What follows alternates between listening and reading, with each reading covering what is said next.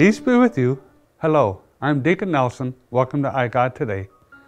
Our gospel story is from the sower of the seeds found in Matthew chapter 13, verses 1 through 9.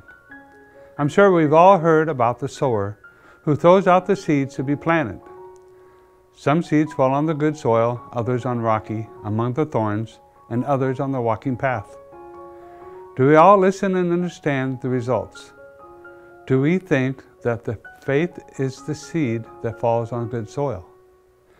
Or do we see our faith at times is weak, thus rocky soil, and it slowly dies? Do we see faith that is shallow, thus reflecting in a personal action is bad on the path of life?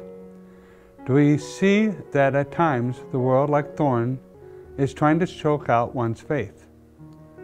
I know we can all recognize the good soil which produces much fruit. I think at first glance we all want to believe we are the ones in good soil. So that begs the question Is your church growing by leaps and bounds while serving the poor, the homeless, and the needy?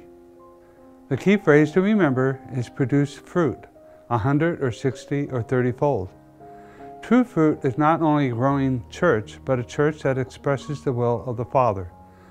The will of the Father is to do the work of Jesus to feed the poor, help the foreigner, clothe the naked, take care of the elderly, and protect our children. When each of us examines our soil, perhaps we need to realize that it might not be as rich as we thought. Perhaps we need to study more, act more, and pray more to cultivate our faith in a deep and more profound way. As we embark on the endeavors, we will notice that people will see what we do and want to follow you and imitate what you are, doing just as they did for the first Christians.